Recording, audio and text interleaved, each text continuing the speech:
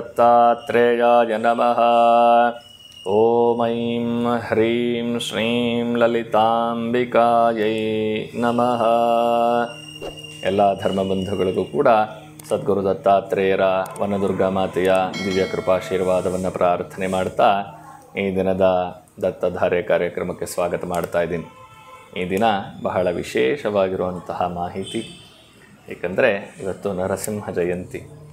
ನರಸಿಂಹದೇವರು ಪ್ರತ್ಯಕ್ಷವಾಗಿ ಭೂಮಿಗೆ ಬಂದಂತಹ ದೇವರು ಭೂವರಾಹ ಸ್ವಾಮಿ ಮತ್ತು ನರಸಿಂಹದೇವರು ಅಯೋನಿಜರು ಅಂತ ಹೇಳ್ತಾರೆ. ಅಂದರೆ ಯಾರು ತಂದೆ ತಾಯಿ ಅಂತ ಏನು ಹೇಳಿದಿರ, ಕಂಬದಿಂದ ಆಚೆ ಬಂದಂಥವ್ರು ನರಸಿಂಹದೇವರಾದರೆ ತಾನೇ ತಾನಾಗಿ ಪ್ರತ್ಯಕ್ಷವಾಗಿರುವಂಥವರು ಭೂವರಾಹ ಸ್ವಾಮಿ ಇಂತಹ ನರಸಿಂಹದೇವರ ಜಯಂತಿ ನಾನು ಹೇಳಿದ್ದೆ.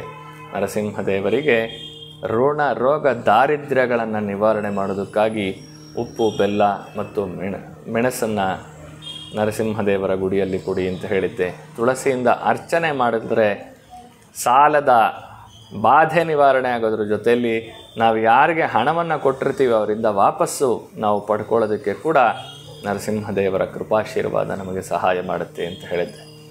ಇಂತಹ ನರಸಿಂಹದೇವರ ಅವತಾರ ಆದಂತಹ ಸಂದರ್ಭದಲ್ಲಿ ನಿಮಗೆಲ್ಲ ಗೊತ್ತಿದೆ, ಪ್ರಹ್ಲಾದನ ಭಕ್ತಿಗೆ ಮೆಚ್ಚಿ ನರಸಿಂಹದೇವರು ಅವತಾರ ಮಾಡಿದ್ರು ಅಂತ.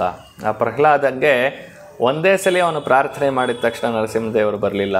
ಅವರಪ್ಪ, ಹಿರಣ್ಯ ಕಶ್ಯಪು ಅವನಿಗೆ ಹಲವಾರು ಕಷ್ಟಗಳನ್ನು ಕೊಟ್ಟ. ಆನೆಯಿಂದ ತುಳಿಸೋದಕ್ಕೆ ಪ್ರಯತ್ನ ಪಟ್ಟ ಬೆಟ್ಟದಿಂದ ಎಸೆದ, ಮತ್ತು ಬೆಂಕಿಯಲ್ಲಿ ಸುಟ್ಟ, ಕಡೆಗೆ ಏನೂ ಆಗಲಿಲ್ಲ ಅಂಥೇಳಿ ತಾಯಿಯಿಂದಲೇ ವಿಷವನ್ನು ಕೊಡೋದಕ್ಕೆ ಪ್ರಯತ್ನ ಪಟ್ಟ ಆಗಲೂ ಆಗಲಿಲ್ಲ. ಕಡೆಯದಾಗಿ ಎಲ್ಲಿದ್ದಾನೆ ನಿನ್ನ ಹರಿ ತೋರಿಸು ಅಂದಾಗ ಆ ಕಂಬದಿಂದ ನರಸಿಂಹದೇವರ ಆಚೆ ಬಂದು ಹಿರಣ್ಯ ಕಶ್ಯಪವನ್ನು ಹೊಸಲಿನ ಮೇಲೆ ಕೂತ್ಕೊಂಡು ಸೀಳದ ಅಂತೆಲ್ಲ ನಿಮಗೆಲ್ಲ ಗೊತ್ತಿದೆ. ಆ ಪ್ರಹ್ಲಾದನ ಭಕ್ತಿ ಕೂಡ ಅಷ್ಟು ನಿಶ್ಚಲವಾಗಿದ್ದು ಅವನಿಗೆ ಸಾಕಷ್ಟು ಸಮಯ ತಗೊಳ್ತು ಆ ಭಗವಂತನ ದರ್ಶನ ಆಗೋದಕ್ಕೆ. ಅಂತಹ ನರಸಿಂಹದೇವರ ಉಗ್ರ ಕೋಪವನ್ನು ಶಾಂತಿ ಮಾಡಿದಂತಹ ಒಂದು ವೃಕ್ಷ ಔದಂಬರ ವೃಕ್ಷ. ಅವರಿಗೆ, ಆ, ಕೋಪದ ಜೊತೆಯಲ್ಲಿ, ಆ ಹಿರಣ್ಯಕಶ್ಯಪಿನ ಹೊಟ್ಟೆಯ ಒಳಗಿದ್ದಂತಹ ಕಾರ್ಕೋಟಕ ವಿಷ ಮೈಯೆಲ್ಲ ಅಂಟಿ ನರಸಿಂಹದೇವರ ರೌದ್ರಾವತಾರ ಕಡಿಮೆ ಆಗಲಿಲ್ಲ. ಆ ಸಂದರ್ಭದಲ್ಲಿ ಪ್ರಹ್ಲಾದ ಅನೇಕ ರೀತಿಯಲ್ಲಿ ಪ್ರಾರ್ಥನೆ ಮಾಡ್ದ. ದೇವಾನು ದೇವತೆಗಳೆಲ್ಲ ಪ್ರಾರ್ಥನೆ ಮಾಡಿದ್ರು. ಕಡೆಗೆ ಮಹಾಲಕ್ಷ್ಮೀ ದೇವಿ, ಆ, ಕಲ್ಪವೃಕ್ಷವಾಗಿರ್ತಕ್ಕಂತಹ ಔದುಂಬರದ ಹಣ್ಣಿನ ಆ ಉಗುರುಗಳಿಗೆ ತಾಕಿಸಿದ ತಕ್ಷಣವೇ ಆ ಕೋಪವೆಲ್ಲವೂ ಶಾಂತವಾಯಿತು. ಅವತ್ತು ಔದುಂಬರ ವೃಕ್ಷಕ್ಕೆ ನರಸಿಂಹದೇವರು ವರವನ್ನು ಕೊಡ್ತಾರೆ. ನಾನು ಸದಾಕಾಲ ಈ ವೃಕ್ಷದಲ್ಲಿ ವಾಸ ಮಾಡ್ತೀನಿ. ಯಾರು ಔದುಂಬರ ವೃಕ್ಷವನ್ನು ದರ್ಶನ ಮಾಡ್ತಾರೆ, ಪ್ರದಕ್ಷಿಣೆ ನಮಸ್ಕಾರವನ್ನು ಮಾಡ್ತಾರೆ, ಅವರ ಋಣ ರೋಗ ದಾರಿದ್ರ್ಯಗಳನ್ನು ನಿವಾರಣೆ ಮಾಡ್ತೀನಿ ಅಂತ ಹೇಳಿ ನರಸಿಂಹದೇವರು ವರವನ್ನು ಕೊಟ್ಟಂತಹದ್ದು ಔದುಂಬರ ವೃಕ್ಷ. ಅಂತಹ ಔದುಂಬರ ವೃಕ್ಷ ನಮ್ಮ ಸನ್ನಿಧಿಯಲ್ಲಿ ಬಹಳ ವಿಶೇಷವಾಗಿ ನೂರ ಇಪ್ಪತ್ತು ವರ್ಷಗಳ ಹಿಂದೆ ತಾನೇ ತಾನಾಗಿ ಕಂಡಂತಹ ವೃಕ್ಷ ಅದು. ಆ ವೃಕ್ಷದಲ್ಲಿ ಅನೇಕ ದೇವ ರೂಪಗಳೆಲ್ಲ ಮೂಡಿದ್ದಂತಹ ವೃಕ್ಷ. ಈಗ ಜೀರ್ಣೋದ್ಧಾರ ಆಗ್ತಾ ಇರೋದರಿಂದ ಆ ವೃಕ್ಷವನ್ನು ಸಂಪೂರ್ಣ ಇಪ್ಪತ್ತೆಂಟು ಅಡಿಗಳು ಮಣ್ಣಿನಿಂದ ಮುಚ್ಚಿದರೂ ಕೂಡ ಮತ್ತೆ ಮೇಲೆ ಚಿಗುರಿ ಬರ್ತಾ ಇರುವಂತಹ ಅದ್ಭುತವಾದ ಶಕ್ತಿ ಉಳ್ಳಂತಹ ವೃಕ್ಷ ನಮ್ಮ ಸನ್ನಿಧಾನದಲ್ಲಿರುವಂತಹದ್ದು. ಯಾರಿಗೆ ಯಾವುದೇ ವಿಧವಾದ ಬಾಧೆ ಇದ್ದರೂ ಕೂಡ ಇಪ್ಪತ್ತೊಂದು ನಮಸ್ಕಾರಗಳನ್ನು ಇಪ್ಪತ್ತೊಂದು ದಿನಗಳಲ್ಲಿ ಬಂದು ಮಾಡೋದರಿಂದ ಔದುಂಬರ ವೃಕ್ಷದ ಸೇವೆಯನ್ನು ಮಾಡೋದರಿಂದ ಎಲ್ಲ ರೀತಿಯಾದ ಬಾಧೆಗಳು ನಿವಾರಣೆ ಆಗಿರೋದಕ್ಕೆ ಸಹಸ್ರಾರು ಲಕ್ಷಾಂತರ ಉದಾಹರಣೆಗಳು ಇಲ್ಲಿ ನಿಮಗೆ ಸಿಕ್ಕತ್ತೆ. ಅಂತಹ ಒಂದು ಔದುಂಬರ ಸನ್ನಿಧಾನದಲ್ಲಿ ನಿಮಗೆ ಯಾವುದೇ ಋಣ, ಅದು ಸಾಲದ ಬಾಧೆಯಾಗಿರಲಿ ಅಥವಾ ಕೊಟ್ಟಿರೋ ಹಣ ವಾಪಸ್ ಬರದೇ ಇರಲಿ, ಸಾಕಷ್ಟು ಜನ ಶೇರ್ಸಲ್ಲಿ ಇನ್ವೆಸ್ಟ್ ಮಾಡಿಬಿಡಿದ್ದೀವಿ ಎಲ್ಲ ಕಳ್ಕೊಳ್ತಾ ಇದ್ದೀವಿ ಯಾವುದೂ ಬರ್ತಾ ಇಲ್ಲ, ಕೊಡ್ತೀವಿ ಅಂತ ಹೇಳ್ತಾರೆ, ಮತ್ತೆ ದುಡ್ಡು ಕೊಡ್ತಾ, ಕೊಡು ಅಂತ ಕೇಳ್ತಾರೆ. ಈ ರೀತಿಯಾದ ಸಮಸ್ಯೆಗಳನ್ನು ಕೇಳ್ತಾ ಇದ್ದೀರಿ. ಗುರುಗಳೇ, ನನಗೆ ರಾಹು ದೋಷ ಇದೆ, ಏನು ಮಾಡಬೇಕು? ಗುರುಗಳೇ, ನನಗೆ ಕುಜ ಬಾಧೆ ಇದೆ, ಏನು ಮಾಡಬೇಕು? ರಾ, ಕುಜ, ರಾಹು, ಸಂಧಿ, ಶಾಂತಿ ಮಾಡಿಸಿದೆ, ನವಗ್ರಹ, ಹೋಮ ಮಾಡಿಸಿದೆ, ಎಲ್ಲ ಮಾಡಿಸ್ಬಿಟ್ಟಿದ್ದೀನಿ. ಸಾಕಷ್ಟು ಜನ ಬರ್ತಾ ಇದ್ದೀರಿ, ಇದನ್ನೇ ಹೇಳ್ತಾ ಇದ್ದೀರಿ. ಜಾತಕ ತೊಗೊಂಡು ಬರ್ತೀರಿ. ಜಾತಕ ನೋಡಿ ಸ್ವಾಮಿ ನಂದು ಅಂತ. ನಾನು ಜ್ಯೋತಿಷ್ಯವನ್ನು ಎಲ್ಲ ನೋಡಿ ಹೇಳೋಂತಹ ಅವಶ್ಯಕತೆ ಇರೋದಿಲ್ಲ. ಯಾಕಂದರೆ ಜ್ಯೋತಿಷ್ಯ ಜಾತಕ ಉಂಟಾಗೋದು ಮನುಷ್ಯ ಹುಟ್ಟಿದ ಮೇಲೆ. ಆ ಮನುಷ್ಯ ಹುಟ್ಟೋದಕ್ಕೆ ಕಾರಣ ಇರೋದು ಪೂರ್ವಾರ್ಜಿತವಾದ ಪ್ರಾರಬ್ಧ ಕರ್ಮಗಳಿಂದ.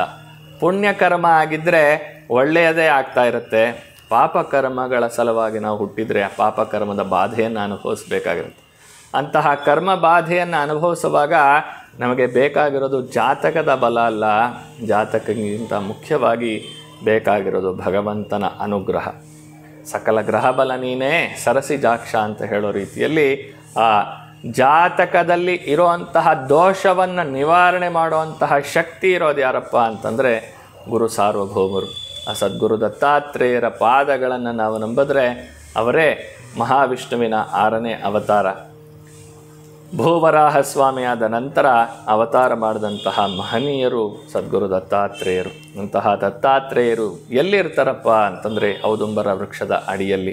ಅದಕ್ಕೆ ಔದುಂಬರ ಕಲ್ಪವೃಕ್ಷಸ್ಯ ಸಂಗಮ ಕಾಮಧೇನುವ ಚಿಂತಾಮಣಿ ಗುರುರ್ಪಾದೌ ದುರ್ಲಭಂ ಭುವನತ್ರಯೇ ಅಂತ ಹೇಳಿ ಔದುಂಬರ ವೃಕ್ಷದ ಅಡಿಯಲ್ಲಿ ದತ್ತನ ಪಾದಗಳಿರುವಂತಹ ದಿವ್ಯವಾದ ಸ್ಥಾನ ನಮ್ಮ ದತ್ತಪೀಠ ಇಲ್ಲಿ ಬಂದು ಜೀರ್ಣೋದ್ಧಾರ ಕಾರ್ಯಕ್ರಮ ನಡೀತಾ ಇದೆ. ದತ್ತನ ನೂತನ ಆಲಯ ನಿರ್ಮಾಣವಾಗ್ತಾ ಇದೆ.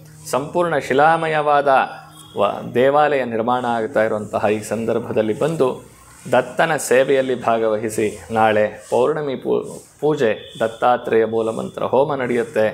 ಈ ಸಂದರ್ಭದಲ್ಲಿ ನಿಮ್ಮ ಯಾವುದೇ ಜಾತಕ ದೋಷಗಳಿರಲಿ, ಯಾವುದೇ ದೇವಿ ದೇವತಾ ಕೋಪ ಶಾಪಗಳಿರಲಿ, ಅವೆಲ್ಲವನ್ನು ನಿವಾರಣೆ ಮಾಡುವಂತಹ ಒಂದು ಅತ್ಯದ್ಭುತವಾದ ಹೋಮ ದತ್ತಾತ್ರೇಯ ಮೂಲಮಂತ್ರ ಹೋಮ ಈ ಸಂದರ್ಭದಲ್ಲಿ ಬಂದು ಔದಂಬರ ವೃಕ್ಷಕ್ಕೆ ನಮಸ್ಕಾರವನ್ನು ಮಾಡಿ ತೆಂಗಿನಕಾಯಿಯನ್ನು ಕಟ್ಟಿ ಸಂಕಲ್ಪ ಮಾಡಿಕೊಂಡು ತೆಂಗಿನಕಾಯಿ ಕಟ್ಟಿ ಆ ದತ್ತಾತ್ರೇಯ ಮೂಲಮಂತ್ರ ಹೋಮದಲ್ಲಿ ಭಾಗವಹಿಸಿ ನೋಡಿ ಆನಂತರ ನಂತರ ನಿಮಗೆ ಗೊತ್ತಾಗುತ್ತೆ ಇದರ ಫಲ ಏನು ಅನ್ನೋದನ್ನು ತಿಳಿಸ್ತಾ ಇವತ್ತಿನ ಕಾರ್ಯಕ್ರಮಕ್ಕೆ ಮಂಗಳ ಹಾಡ್ತಾ ಇದ್ದೀನಿ. ಓಂ ಶಾಂತಿ ಶಾಂತಿ ಶಾಂತಿ सद्गुरो दिव्यचरणरविन्दार्पणमस्तु।